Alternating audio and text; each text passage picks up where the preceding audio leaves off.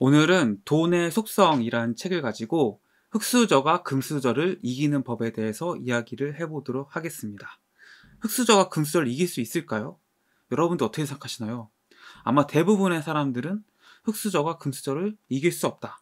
아니 애초에 경진 자체가 되지 않는다라고 생각하실 겁니다. 그렇다면 오늘 영상을 끝까지 봐주셨으면 좋겠습니다. 이 책의 저자는 김승호라는 분이고요. 4천억 원 이상의 부를 형성하신 것으로 알려졌고 또 실제로 사업체를 운영하시고 김밥 파는 CEO, 생각의 비밀, 알면서도 알지 못하는 것들 등 수없이 많은 책들을 쓰신 분입니다.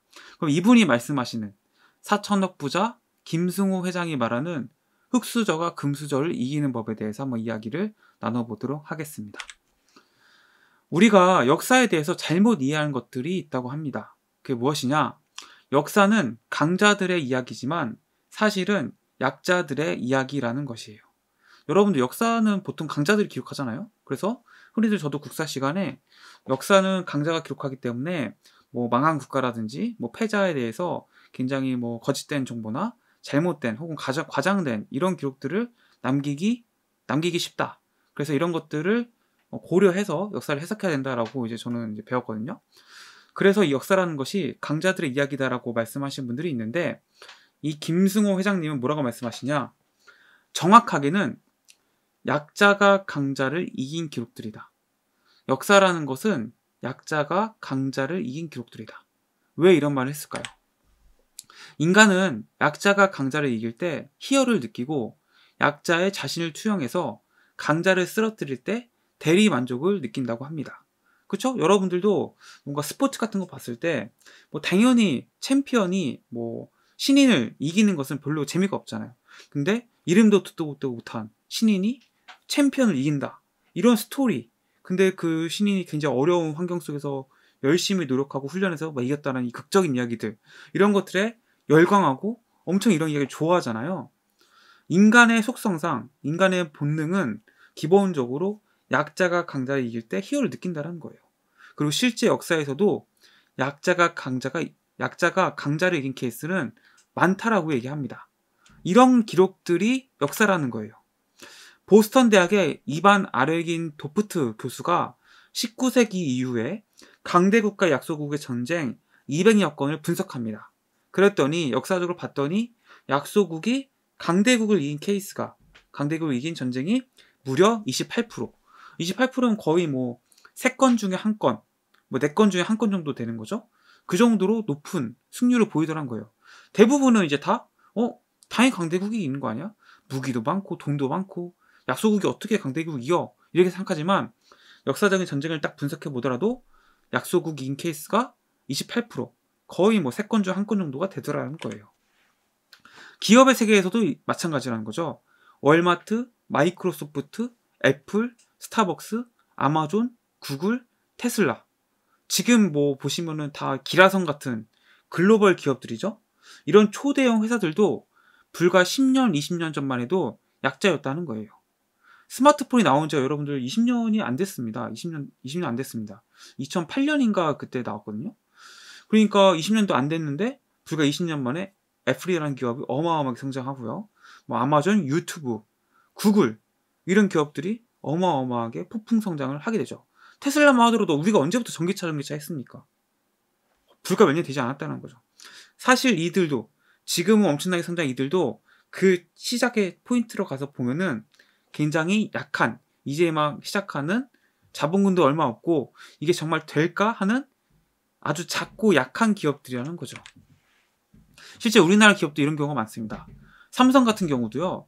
대구에서 국수를 팔던 아저씨 가게에서 시작해서 이 국수에 별 3개를 그려 넣은 걸로부터 시작해서 별표 국수라고 해요. 이거 여기서부터 삼성이 유래됐다는 거예요. 현대만 보더라도 경일 사, 경일 상회라는 쌀 장사를 하던 청년이 차린 기업이 현대라는 거죠.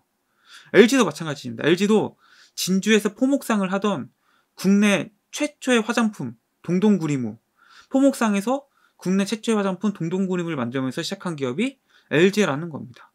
이렇게 지금은 어마어마하게 초대형 그런 기업들도 불과 100년이 안 됐죠.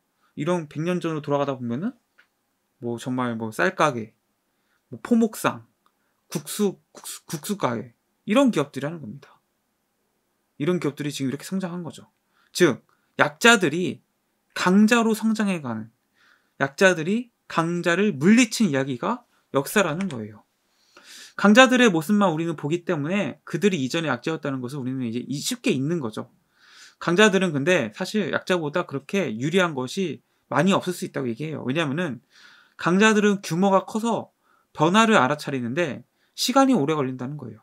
그리고 또 이 변화를 알아채더라도 실행이 더디다는 거죠. 워낙 조직이 크고 워낙 거대하다 보니까 뭐 하나 뭐 바꾸기가 쉽지 않은 거죠. 이런 이유로 전략을 바꾸고 실행력이 있으면은 성공할 수 있다고 김승호 회장은 얘기합니다.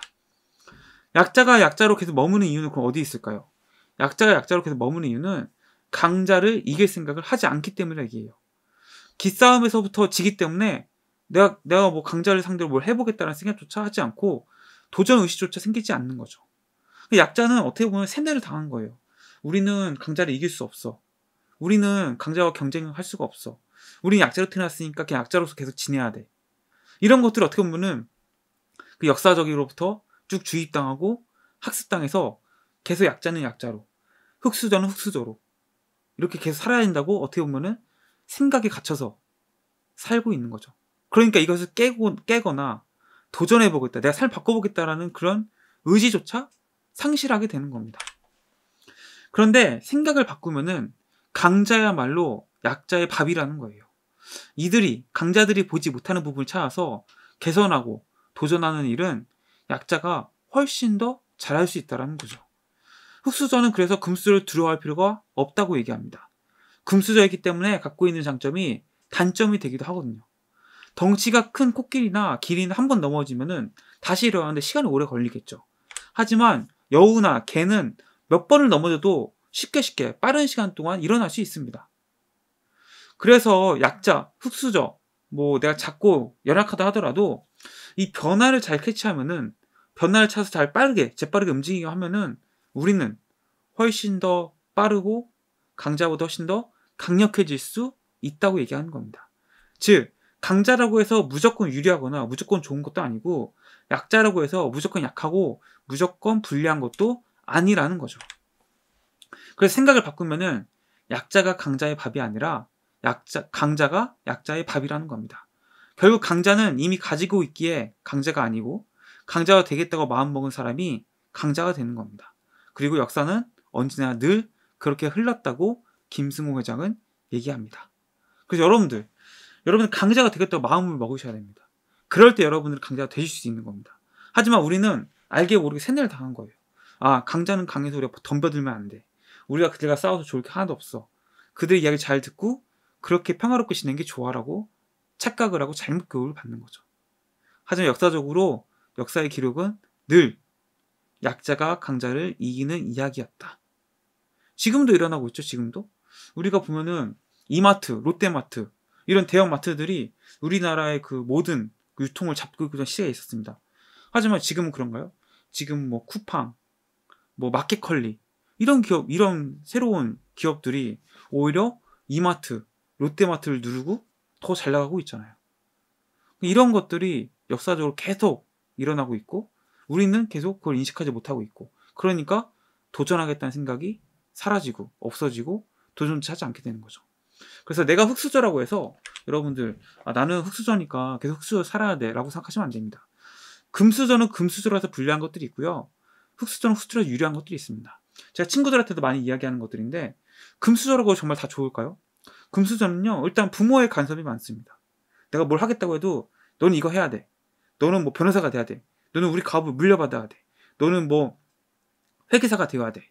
너는 뭐 의사가 되어야 돼. 이런 식으로 가정에 일단은 뭐 엄청난 압박과 엄청난 제, 제약사항이 많다라는 거죠. 그럼 자유도의 측면에서는 흑수저가 훨씬 더 유리한 거죠. 그럼 금수저 집안에 태어난 아이 중에서 내가 뭐 피아노에 관심이 있다. 혹은 그림 그리는 관심이 있다. 근데 그 집안은 의사 집안이야. 그러면은 그 사람이 정말 피아노만 칠 수 있고 화가로서 뭔가 성공할 수 있을까요? 아마 집에서는 이 아이를 의사로 만들려고 엄청난 제약을 강하고 자원을 투입하고 엄청난 노력을 하겠죠. 그런데 흑수저는 내가 일단 잃을 게 없잖아요. 가진 게 없으니까. 그러다 보니까 어떻게든 살아나려고 살아내기 위해서 이겨내려고 그 길을 찾기 시작합니다. 내가 가진 재능을 극대화시킨다든지 내가 어떤 작은 기회를 놓치지 않으려고 온갖 안테나를 활짝 펴놓고 그 기회를 포착하기 위해서 준비하고 노력을 하죠. 그럴 때 기회가 딱 하나 맞아 떨어지면 더 이상 흑수저는 금수저를 두려워할 필요도 없고 흑수저가 금수저를 이기게 되는 거죠. 그래서 여러분들 내가 만약 흑수저라라고 생각하시면은 여러분은 정말 흑수라고 생각하시면 안 됩니다. 여러분은 사실 금수저인데 그 금수저 그 곁에 흙이 묻어 있으니까 내가 흑수저라고 생각하시는 걸 수도 있어요. 여러분들이 가지신 재능, 가능성, 잠재 능력 이것들 펼치신다면은 그 금수저에 묻은 흙들을 여러분들 털어내신다면은 아 내가 흑수저가 아니라 금수저였구나. 그 수저를 닦아내는 노력, 내 재능을 갈고 닦는 그 노력을 하시면은 흑수저도 금수저가 될 수 있고 금수저도 자기가 가진 금수저에 만족하고 머물면은 흙이 묻어서 흙수저가 될 수 있다고 저는 생각합니다. 그래서 여러분들 저와 같이 흙을 털어내는 노력들을 함께 많이 했으면 좋겠습니다. 오늘 제 영상 도움이 되셨다면 구독과 좋아요 눌러주시면 감사하겠습니다. 고맙습니다.